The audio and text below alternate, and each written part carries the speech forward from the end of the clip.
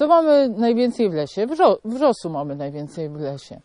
E, Wrzos po łacinie to Caluna vulgaris, a co w nim jest takiego fajnego? Fajne jest to, że w kwiatkach, tych malutkich kwiatkach wrzosu jest mnóstwo soli mineralnych, które y, dla, dla nas, dla, jakby dla ludzi zawierają mnóstwo soli mineralnych, tak więc napary z kwiatków wrzosu wzmacniają nasz organizm. Bardzo przydatne teraz jesienią.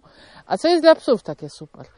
E, Kwiatki wrzosu mają działanie u psów e, pomagające przy leczeniu zwyrodnienia stawów. Tak więc jeśli nasz pies zajada się wrzosem w lesie, nie odganiajmy go, dajmy mu zjeść te, ten, te, te kwiatki. Natomiast co my musimy wiedzieć? My nie możemy zbierać kwiatków wrzosu w lesie, ponieważ jest to no, czyn zabroniony. Pies jak zje, to co jego, to sobie zje.